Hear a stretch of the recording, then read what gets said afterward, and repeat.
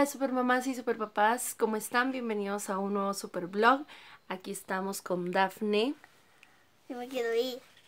ya se quiere ir. Bueno, este vlog es un poco emotivo y serio, pues porque vamos, bueno, les voy a contar un poco acerca de lo que está pasando en Guatemala. Hemos pasado una situación fuertísima, muy dura, una situación muy triste. El volcán de fuego hizo una erupción inexplicable, una erupción súper fuerte que afectó a miles de personas, a miles de familias. Este volcán de fuego está entre los departamentos de Escuintla y Zacatepeques y en medio, o sea, hay una carretera que conecta estos departamentos, así que estos fueron los más afectados. Es una situación increíblemente dura. Hoy vamos a ir a dejar unas cosas que logramos recaudar, incluso con otras mamás que se dedican a, pues, a influir, porque no tienen un canal de YouTube, pero sí tienen sus blogs. Somos 10 mamás y todas nos unimos para recaudar víveres, hicimos un centro de acopio. Hoy es muy emotivo para mí porque vamos a llevar ayuda. ¿Tú qué? Mi bebé. Miren su emoji. Hoy vamos a llevar ayuda, pero no es es más especial, no sé cómo explicarlo. Solamente con decirles que es ayuda para una amiga mía, una amiga con la que me gradué del colegio. Salimos juntas de la carrera ella fue afectada directamente. Ella vivía en una aldea que se llama El Rodeo. Hoy voy a ir a verla. Están viviendo en la antigua, en un lugar temporal, no en un albergue. Les prestaron un apartamento. No perdieron vidas humanas. Eh, ellos como familia, pero perdieron todo. Tiene dos nenas lindísimas y se acababan de pasar ahí y lo perdieron todo. Entonces, o sea, imagínate cómo sales de eso que estás viendo la nube, que estás viendo la nube directo hacia ti, ¿qué haces? No puedes entrar a tu casa, agarrar ropa, zapatos, nada. Sales con lo que tienes, con lo que tienes puesto. Y reunimos bastantes cositas que hoy se los vamos a llevar con Dafne. Vamos a pedir ahorita un Uber para que nos lleve. Yo espero que todavía esté el Uber ayuda. Pero si no está, de todas formas, he recibido ayuda internacional económica. Eh, la verdad es que no sé si estas personas quieren que diga su nombre. Pues una de ellas es Emilia, es una de mis mejores amigas. Ella es locutora y vive en Estados Unidos. Se dedica a la locución allá. Ella envió una ayuda económica para poder transportar todo esto. Entonces, eso nos ha sido un gran apoyo porque nosotros queremos ayudar, pero no siempre tenemos las mismas posibilidades y no tenemos como demasiado para dar. Damos lo que podemos y lo damos con mucho amor. Entonces, ya, esa es la introducción de este vlog. Em, espero que con esto pueda llegar a sus corazones, no solo para ayudar, sino que para reflexionar y que agradezcamos diario lo que tenemos. Como esta chiquitía. 你看，你不要了。哎。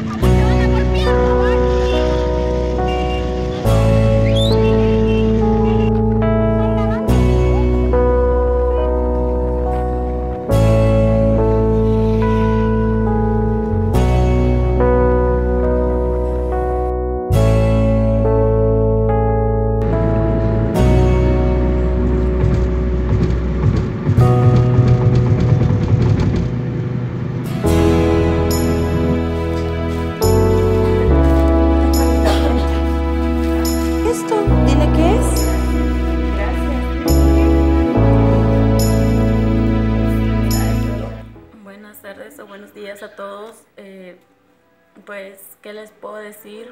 Esto para nosotros ha sido demasiado difícil.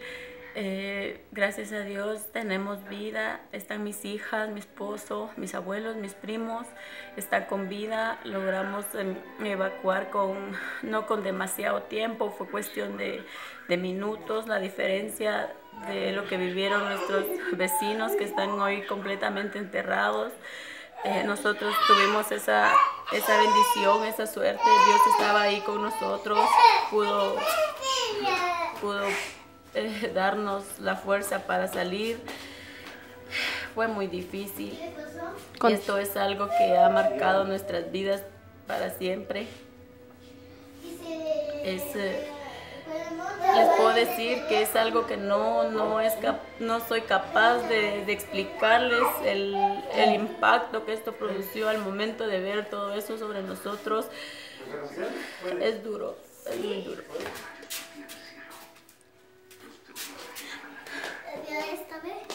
Estamos vivos y es más que suficiente, sí, pero como ustedes saben, hay tantas cosas atrás, recuerdos, familia, vecinos, esa gente que lo vio crecer a uno. Decir, hola, Dios, que estés bien, cuídate, saludos a tu mami, a tu papi, algo, todo eso. Toda esa gente está muerta, está enterrada. Sé decirles que que no hubo ninguna sola autoridad, ninguna. Al momento de evacuar nosotros fue por, por ver el humo, si no hay humo nunca, nunca evacuamos porque nos, no es culpar a las autoridades, pero pudieron, quizá no hubiera sido esto tan grande, pudieron hacer algo tal vez y no lo hicieron. Pero no hubo ni una alerta ni nada. Nada, nada no hubo una alerta, no hubo algún mensaje, como ellos dicen que emitieron boletines, porque había una alerta y que no nos avisaron, no, no nos avisaron nunca. Ese día fue tan como cualquier día, que hoy podemos ver el sol y en la tarde no sabemos qué sucederá. Ese día mis hermanas y yo fuimos a misa aún, fue el día del corpus en nuestra aldea, los altares se quedaron en las casas hechos. Eh, las personas que todavía vimos en misa algunas quedaron enterradas ahí. Y llegué a casa, estaba mi esposo, almorzamos tarde, tipo 2, 3 de la tarde, con las nenas cuando fue eso, pero es difícil y lo único que puedo decirles es que Dios es grande, Dios es muy grande, Dios tiene el poder y el control de todo, Él es grande. Él es capaz de hacer y deshacer lo que Él quiera, Él es capaz de todo eso. ¿Y mm, a qué hora se dieron cuenta de lo que estaba pasando? ¿A qué hora te diste cuenta? Eh, eso fue más o menos como a las 4 de la tarde. Nosotros almorzamos como a las 3. Por las 4 de la tarde más o menos, si recuerdo. Estaba llegando la nube donde ustedes estaban. Ni nos habíamos percatado, se pasó una ambulancia alertando, entonces salimos al, al patio a ver y sí, la nube era exagerada y sí se veía cómo se venía la, la ceniza sobre nosotros. Eh, la lava quedó muy cerca de donde nosotros, mi casa no está enterrada, pero mm, los vecinos, es como si también las de nosotros hubieran quedado ahí y no podemos volver tampoco. Sería demasiado riesgoso volver ahí, no tenemos eso, nos quedamos sin nada, hay gente buena, Melissa, gracias, gracias por todo. Eh, muchas personas que están detrás de nosotros y están haciendo mucho, amigos, amigas, vecinos que nos conocen y están viniendo donde estamos ahora. Y muchas gracias. Es algo que, que no se puede pagar ni con dinero, ustedes saben. Pero estamos aquí y si Dios nos ha dejado con vida a mis hijas, a mi esposo, a toda mi familia, Él tiene algo grande para nosotros. Y, y fui mucho tiempo de mi vida, fui muy incrédula, créanme eh, llegó un momento quizá en el que no creía que estas cosas podían pasar, pero pasan, lo viví en carne propia y esto es algo que me gusta compartírselos. Eh, disfruten su familia, disfruten sus hogares, disfruten sus amigos. Y recuerden el materialismo no vale eso nada. Y vimos en algunos videos del hotel La Reunión, a las 12 estaba diciendo que estaban evacuando. A y ellos tú los lo evacuaron. viste hasta las y tú viste todo hasta las 4. A ellos los evacuaron. Ellos, a ellos sí les avisaron por parte de sus jefes, supongo, pero Pienso que si a ellos los evacuaron, pudieron evacuar a otras personas, alertar algo, ya sabían que había riesgo de evacuar.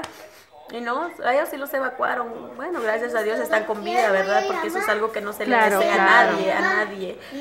Pero pudieron evitar algo mucho mayor a lo que pasó, lo pudieron evitar. Y no. Claro.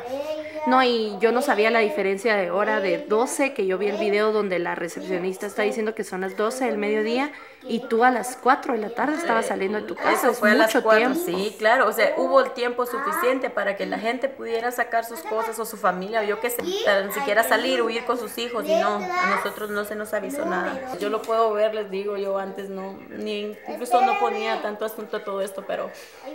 Estamos mal, estamos en un país en el cual no podemos contar con unas autoridades que nos van a ayudar a salir adelante, al contrario, creo que nos terminan de meter la pata ahí, entonces no, estamos mal.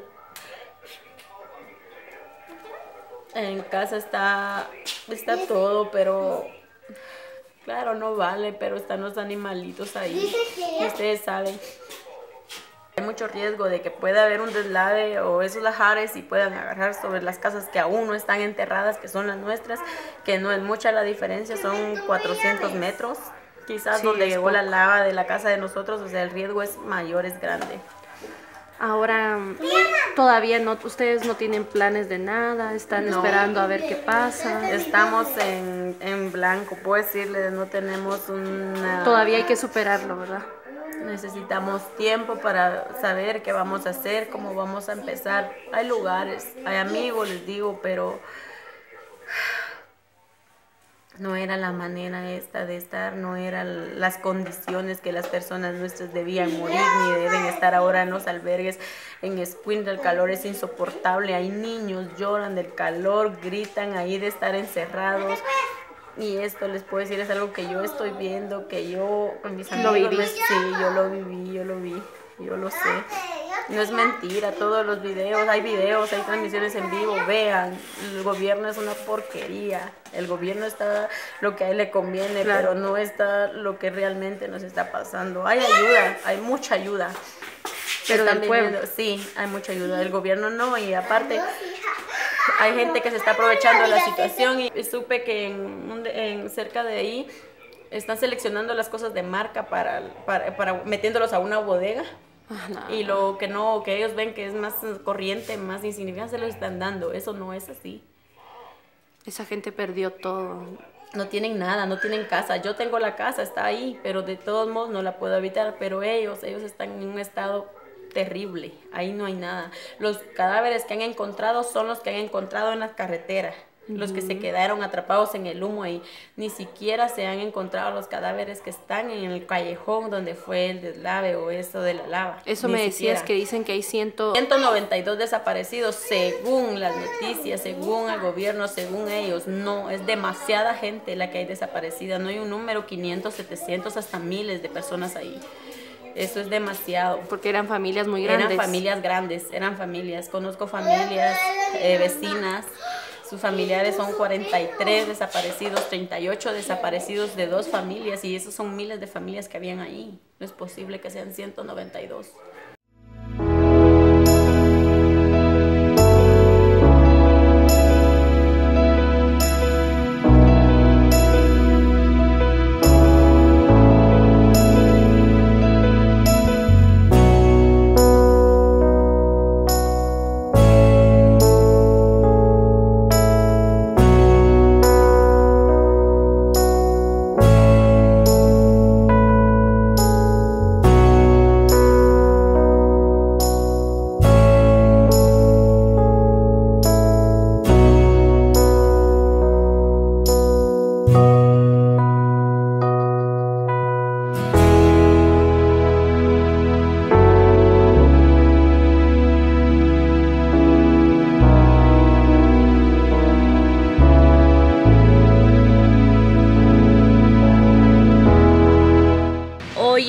Día y eh, después de, de haber escuchado el testimonio de mi amiga acerca de toda esta catástrofe, hoy con Melanie, que es una de mis mejores amigas, y de parte de la radio donde ella trabaja, vamos a ir a un albergue a hacer pintacaritas, a poner el Girly Spa, que es un Es un servicio que tenemos con Melanie que es para cumpleaños o incluso fuera de cumpleaños. Hacemos pintacaritas, que peinados, uñitas, todo para nenas, un spa para nenas. Y hoy vamos a ir a animar a hacer este girly spam y también vamos a hacer pintacaritas para todos los niños, niños y niñas. Y ustedes van a venir conmigo. La verdad no estoy muy segura si nos van a dejar entrar porque han habido rumores y noticias de que hay algunos albergues en los que ya fueron tomados por la SOCEP, que es la Secretaría de Obras Sociales de la esposa del presidente, y dicen que ya no están dejando entrar a medios de comunicación ni a voluntarios y se están llevando todo el paquete de que ellos llevan las donaciones, mientras que el pueblo de Guatemala fueron los, fuimos los que recaudamos eso. Pero bueno, eh, vamos a ir a ver qué pasa, por eso mi maquillaje un poco así extravagante. Eh, un poco nada más y mm, esperamos que nos vaya bien, esperamos que podamos entrar. Yo, yo llevo mucha ilusión, sé que Melanie también y todo su equipo, el equipo de la radio y ustedes me van a acompañar, espero que, que todo salga bien.